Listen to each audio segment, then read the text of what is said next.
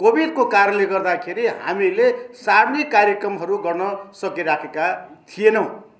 र हामीले आफ्नो जुम मार्फत कार्यक्रम गरिराखेको हुनाले यहाँहरूको बिचमा सर्वसाधारणको बिचमा न्यायपालिकाको प्रमुख चोलेर शमशेर जबराबाट भएको भ्रष्टाचार र बिचौलिया रोक्ने कामको लागि रोक्न नसकेको उसले रोक्न नचाहेको कारणले गर्दाखेरि उहाँको बहिर्गमनको लागि जो आन्दोलन गरेको बारको आन्दोलन कतै शिथिल भएको हो कि?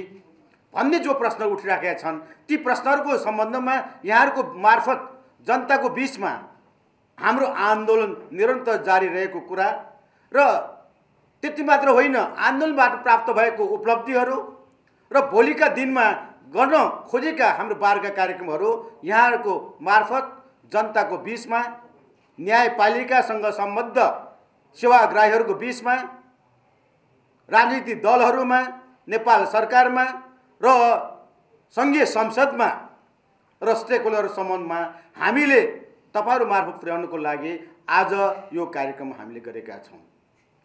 त्यस कारणले गर्दाखेरि म यहाँहरूको बिचमा कुरा राख्दाखेरि अहिले राजीनामा चोलेन्द्रको राजीनामा माग्दै आएको अहिलेसम्म राजीनामा भएको छैन। यो के हो त भन्ने प्रश्न जुन तपाईँहरूको हुन सक्दछ। त्यो प्रश्नको सन्दर्भमा म यहाँहरूको बिचमा हाम्रो आन्दोलन अहिले भौतिक रूपमा हुन नसक्दाखेरि भर्चुअल रूपमा देशव्यापी रूपमा भर्खरै आज पनि तिन बजेसम्म हामीले देशभरिका कान व्यवसायी नब्बेवटा बार युनिटका कान व्यवसाय मित्रहरूसँग हामीले सम्पर्क गरेर उहाँहरूको बिचको इन्ट्रेक्सन गरेका छौँ। भर्खरको इन्ट्रेक्सनकोबाट फिडब्याक पाएका छौँ। यो आन्दोलन सशक्त ढङ्गबाट अझ अगाडि बढ्नु पर्दछ र यसलाई काठमाडौँ मात्र सीमित नराखिकन यसलाई देशभरि सशक्त ढङ्गबाट आन्दोलन उठाउनु दिनुपर्दछ सम्भव छ भने अदालतै ठप्प हुनुपर्दछ भन्नेसम्मका सुझावहरू आएका छन्। यो सुझावहरूको सन्दर्भमा नेपाल बारले गम्भीरतापूर्वक लिएको छ। यहाँहरूको बिचमा हामीले यो अहिलेको जुन भर्चुअल अहिलेको जुन अवस्था कोभिडको अवस्था हो फागुनको एक गते पश्चात अब फिजिकली पनि हामी जान सक्दछौँ।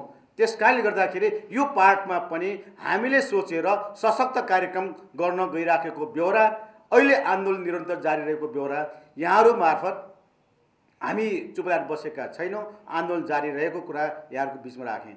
दोस्रो कुरो हामीले आन्दोलन मात्र होइन। सुधारका लागि उहाँहरूको बहिर उहाँको बहिर्गमनका लागि हामीले दलहरूको बिचमा राजनीतिक दलहरूका र प्रधानमन्त्रीदेखि प्रति प्रमुख प्रतिपक्ष दलका नेतासम्म हामीले उहाँको बहिर्गमनको आधारहरू सत्र बुँदे आधारहरू हामी जि- दिएका छौँ यहाँहरूको मार्फत सार्वजनिक भइसकेको छ। तर दलहरूले सार्वजनिक रूपमा अथवा औपचारिक रूपमा अहिलेसम्म कुनै निर्णय गरिराखेको छैन।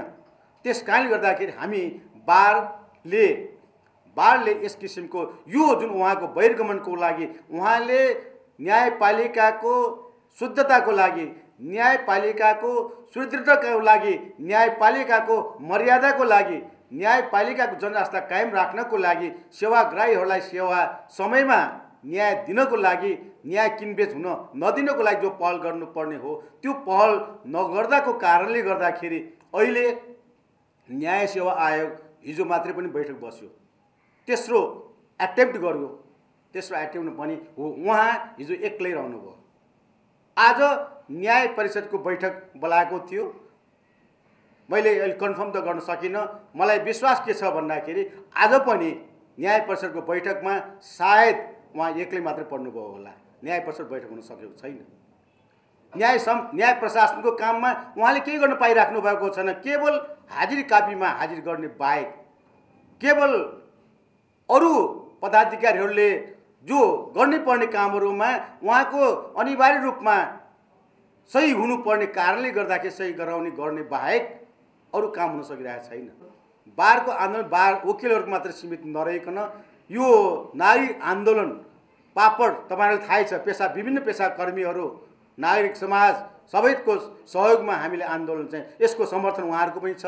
त्यति मात्र नभइकन यसमा अब जन यो हाम्रो बारको आन्दोलन यो न्यायपालिकाभित्र सीमित नरहिकन जनताको बिचमा पनि जनताको बिचमा पनि यो संसदको पनि यो विषय बनि- बनिसकेका स्थिति छ। त्यो विषय सफल असफल हुनु भनेको न्यायपालिका असफल हुनु हो। न्यायपालिका असफल हुनु भनेको राज्य असफल हुनु हो।